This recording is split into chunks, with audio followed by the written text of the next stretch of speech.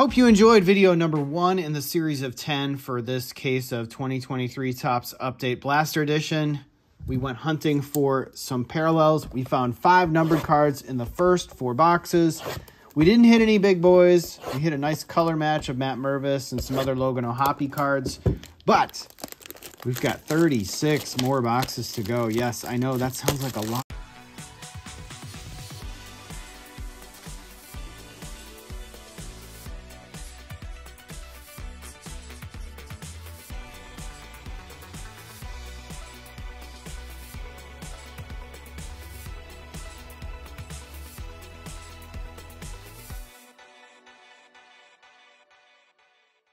This was the last box. We'll go through that stack. We'll see what comes out of each box. We are looking for Halloween parallels of good rookies. Adley Rutschman, Gunnar Henderson, Corbin Carroll, Anthony Volpe, to name a few. We're looking for rookie debuts and parallels for some of the good rookies. Got a rainbow foil here of Jake Bird, Matt Olson, and Brandon Fat. Okay, nothing doing in pack numero uno. Ah, come on. I feel like, I feel like this is going to take forever. I know I should probably pre-cut these sleeves, but I didn't. So, my fault. I'll try to be as quick as I can. Give you guys some commentary along the way if you're watching in the car or wherever you might be watching. Maybe you're cooking dinner. I don't know. It's where I watch some card content occasionally. When I'm cooking dinner, I like to fill the time with some soothing card content. Somebody made a video the other day about how card content sucks. Can't say they're wrong. Maybe it's gotten a little stale, a little. Oh, got a Patrick. You got a Patrick Bailey pumpkin card? That's nice. I hope it is. It's not bad. That'd be a nice hit there. we got here? We got a black. This is black gold. Is that a parallel? No. Brett Beatty or Batty. I don't know how you pronounce his name. William Contreras. And this should be a Patrick Bailey. It is. There we go. We're on the board. We got a nice color match pumpkin, Patrick Bailey. Not numbered or anything, but that's a nice card. It's a. Uh, that's a nice color match. That that see the Giants go well with Halloween. The Guardians go well with Halloween. Um, the Diamondbacks colors kind of go well with the Halloween. I don't think those are numbered. No. Question becomes how many of those numbered cards are we going to get? In the first case, I got a bunch. From what I remember, I think I ended up with another one here. Is this a parallel? It's a gold of Gio Urshela. That's kind of rough. Pulled his camo a couple years ago. All right, so the first box, we got a Patrick Bailey. I'm pretty happy with that. Couple rookie parallels. Who's this? Nick Ahmed, not Corbin Carroll. Robbie Grossman. As I was saying, in the first one, I got a decent number of numbered cards. Kodai Senga, Nick Ahmed. Box number one is almost in the books. I think we did okay. That was probably our best box so far, given the fact that the Patrick Bailey came out in a parallel for the Halloween, not just the base. If I had got a numbered card or a really low numbered card, I might consider grading it. But those are insanely tough grades. I haven't seen many of those graded. I don't know whether people have submitted those. I didn't. Honestly, I think a lot of them are going to get nines. Uh, it's just my sneaky suspicion that a lot of them are going to get nines. And maybe even some eights. Because centering on them hasn't been like the greatest. And the black with all the colored borders just doesn't grade really well. Spencer Strider, that's a good one. Time spanning tandems. It's a nice one there. Build a pile there. Jordan Walker and Brooks Raley. Okay, box number one. We did pretty good. I like that Strider. Chrome. Stars of MLB. He's a he's a guy that just sells. He's kind of like got a cult following. Yeah, James Outman. I pulled in the first case, going back through some of the recap. I'd have to watch the recap. Go check that video out. It's from about the month of December. When I opened that case, I want to say that I pulled probably like five or six cards that were on that 25 to 20 to $25 range. Um, and then there was a lot of cards that were in the one to two dollar range. So, mean, if you get the same luck here, and maybe you get lucky with a Corbin Carroll Halloween parallel, like in a really good one, or a Gunnar or Adley, you'll do pretty well. I think you do okay on the case. Matt McLain, maybe.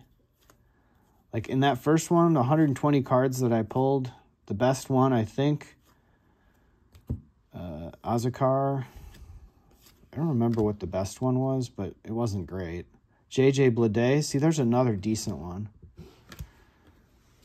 He's uh, got some work to do. Peds knows this guy. I think he went to a wedding with him once. I've got his yellow logo fractor in a 10 that I graded. That's a really nice card. Not that one, the logo fractor. But you get my point. Okay, next pack up. Did we get a numbered card in this box? No, we did not. And the autos, they do sneak up on you. Patrick Bailey again, Kenley Jansen, Adrian Beltre, new Hall of Famer. Adrian Beltre. He was an underappreciated guy. I wouldn't mind doubling down on Patrick Bailey. I don't know if we did, but I thought I saw a P in Giants colors. We'll find out. We'll Tanner Bibee, there's another good one. Apparently he's pretty good. Many people say they expect him to win the Cy Young. Ooh, Jesse. Oh, that's out of seven ninety nine. So we got a uh, Dominguez. Then we got a Jesse Winker purple. Jordan Alvarez, Action Stars, Corey Seager, and this is not a Patrick Bailey. It is a John Brebbia. We share a name. That's about all we have in common. Okay, we got our numbered card in there. Maybe we'll get five numbered cards again.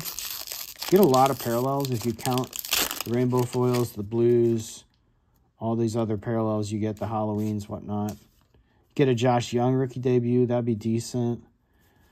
There's there's some decent cards in here. Yandy Diaz.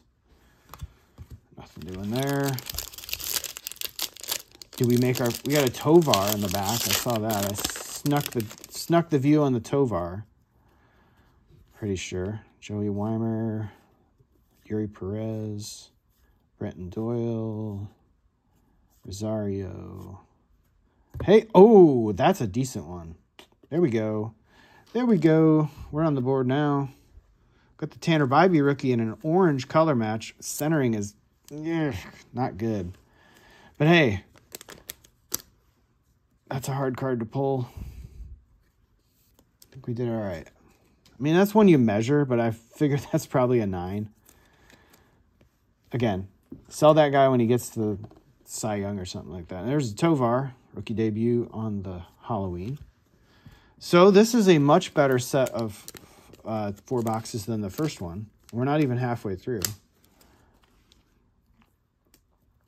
Tovar got his Independence Day from this in a 10. Like I said, this set, the parallels graded really well, but that one's way off center, though.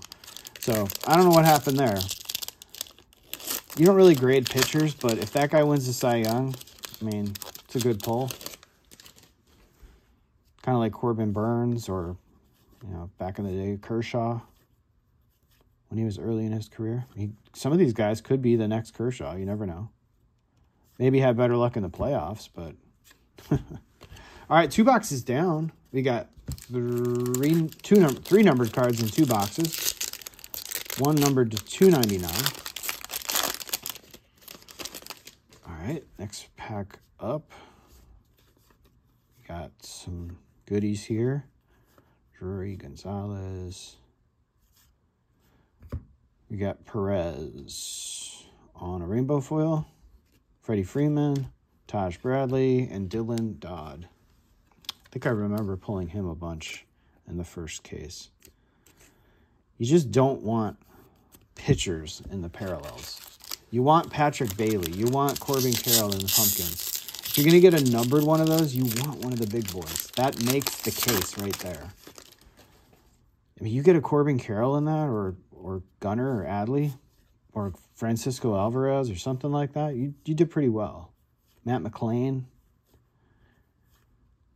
That one will pay for a lot of boxes if that happens. All right, nothing doing there.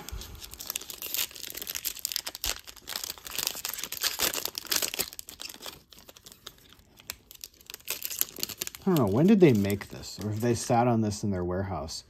What they could have done is Topps had a bunch of these left over and they just dispatched them all to uh, David Adams for like wholesale price. And they're like, take this, take this. We'll give you a great deal on it if you take it all. And uh, they'll be like, but by doing so, maybe we'll give you another product. I don't know. That's probably what happened. Goldie on the black gold. I didn't realize he was in the checklist for that. Uh, Jeremy Pena, and this is Joey Wendle. Not going to get it done. Okay, we got a rookie. Is that a pitcher? Yeah, it's a pitcher. On the blue for the Oakland Athletics. What's going to happen to them? They're going to go to Vegas. They're going to go to Salt Lake City. They're going to go to Portland. I don't know what's going to happen with them. I saw Vegas did a artist rendering of the new stadium over taking the place of the Tropicana. I mean, it looked pretty cool. Not bad.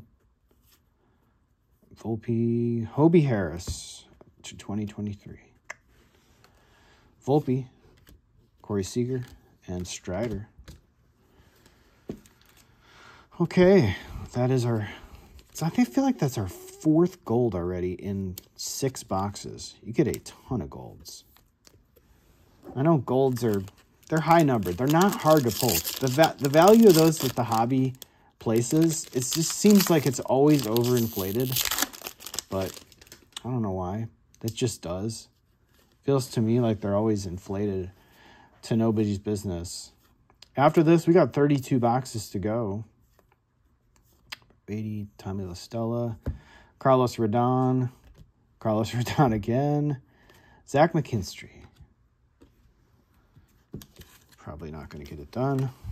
We'll sleeve him up. Why not? Can we get another numbered card in this box? We've got one gold. So on the stage right now, we've gotten two golds, a purple, and a orange foil. The orange foil by far is the best. But so far, we've gotten two cards in this this set of four that I would say are good cards. Not bad. Although QC on one is not good. All right, last pack of box number three. No matter how fast I go, it seems like all the chit chat always takes me about 15 minutes to open four boxes. Maybe 17 minutes. I just talk a lot. Ugh, look at that. Thank God those aren't parallels. Okay, all aces. Walker Buehler. Dansby Swanson, Scherzer, and Kenta Maeda. I already saw that. All right, last Last box mojo. See what happens. We need some luck. I really hope the QC isn't bad. I just wonder if they rushed the end of this print run and that's what I'm getting here.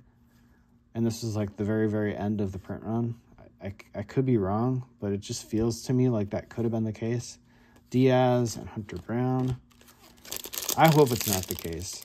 I hope I hope there's variance here. I hope there's variety. I hope I get a lot of interesting pulls, maybe an auto or two. It's something. Oh, that's a black gold. What am I doing? It's not a not a great parallel. These are faded a little bit. I don't know. Feels faded. Michael Harris got his blue in a 10. Hunter Brown, Trout in the that's cool. Hadn't pulled that one before. Jordan Walker and I'm gonna say it's not Jorge. No, George Soriano. There we go. Come on. All right, get that one in there. I might go live with a couple of these. I know I'm going to pre-tape some of them, but I might go live with some of these. Have some commentary during the video. And some live audience participation. So you guys can enjoy the fun and comment along the way. If you're new here, hit that subscribe button. This channel is a fun channel. It's been around for almost two years. We're getting up against our two year anniversary coming up April 16th, 2022.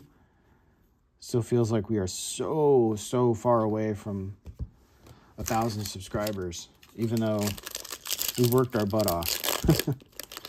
Trevor Stevens? Steve, Trevor Steven. What am I doing? Why, why did I do that? Okay. We got a Can we get a numbered card in here? Nope. Bryce Miller. Is he a good rookie? I say Bobby Miller is probably better. Ooh, Braves. Ah, Braden Shewmake. Shares the name with my son, but not the guy you're looking for. Luis Robert. Okay. That could have been better. I thought for a second it was Michael Harris. I was kind of getting excited. I was like, yes, Michael Harris. Rookie debut, purple. And then went, went, went. Not to be. Little light on the Halloween parallels so far, on the parallel parallels. Like the actual like pumpkins, jack-o'-lanterns, numbered stuff. We haven't gotten really any. Couple pumpkins, but nothing crazy. Vasquez, Acuna, QC on this like I said, it's not, the centering on this stuff isn't as good as it was. I don't know. There's no way that Tanner Bibee is going to get a 10. No way in hell. Not that you grade pitchers, but still. You'd like to be able to grade them when you can. And you can't even think about grading that. I don't think it's worth sending back to Topps either. What is this? Veteran combos, Arraez and Pablo Lopez on the rainbow foil, time spanning tandems. And we've got Bly Madras, where the heck that is. Last pack mojo here of box number eight overall and four of this one. We'll do a recap and then I'm going to go make dinner. Okay, last pack mojo. Did we get anything good? Probably not. Let's see what we got here. Nothing crazy so far. This is Bust Pack, Gunnar Henderson, Luis Arias, and that's going to do it. All right. That was a Bust Pack. Oh, well. We're $100 into this. Do I feel like we got $100 back? No, probably not. Do I feel like we got 50 bucks back by now? Probably. If you count the complete sets, we're, we're getting there. All right, let's do a recap. Let's see what we got in this particular one. We got a Tovar on the Halloween parallel, Strider on the Chrome Stars of MLB, Pfaadt on the parallel. I should put that one last. What am I thinking? I'll do it that way. Bobby Miller on the blue color match. Braden Shoe Braden Shewmake on the purple. Pretty nice card there. Hobie Harris on the gold rookie. Bly Madras on the rookie. JJ Bleday on the rookie. Halloween. Patrick Bailey on the nice pumpkin card. Nice color match there. Corner's a little jacked up. Gio Urshela, why did I put that in there? And then Tanner Bibee. So I'd say the, these two cards here are the best two from this set of four. The first set of four had a Matt Mervis blue, so we got some nice color match going on. But overall, we got a lot of work to do on this to see if we can break even.